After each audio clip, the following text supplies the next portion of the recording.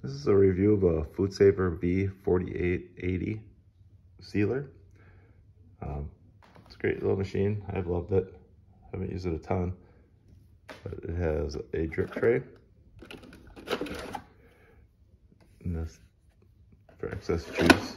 I typically only use it when I have frozen items or dry items. Power, manual seal, cancel. You can pulse it. There's an attachment. Seal jars or containers. Basically pull it out and then automatically retracts.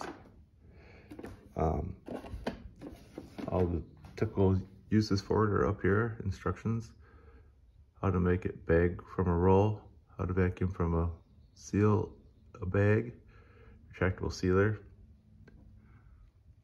See how that works. It has an accessory for doing other containers. You simply put your roll in here, fold it out a little bit, cut it to the size that you like in either direction. And I have a fresh bag of fresh roll. I don't intend on opening it. Let me plug this in, power it up. Oops, power. This is what a looks like. 11 inch wide hot seal roll.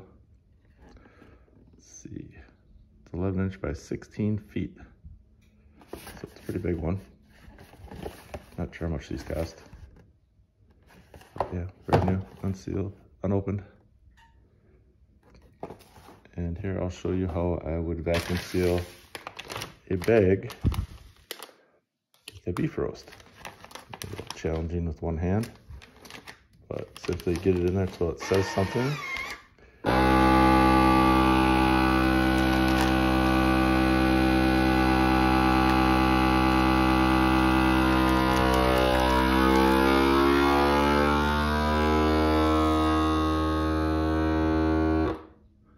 Now it's heating up to seal it.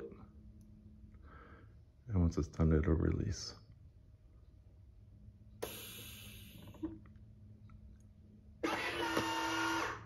And there you have it.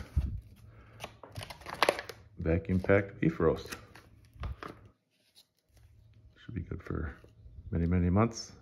Two years regular, probably more than two years without all the air. So as you can see, great vacuum sealer. Um, the cord spools up on the bottom. Show you the back.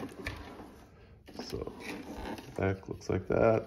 It's stainless steel and then you can coil the cord up underneath the bottom there.